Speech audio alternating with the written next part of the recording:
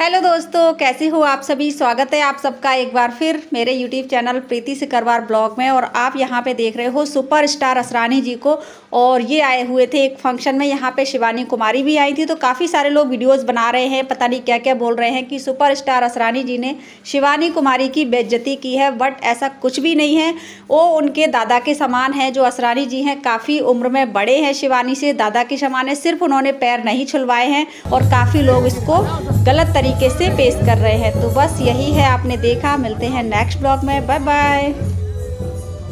bye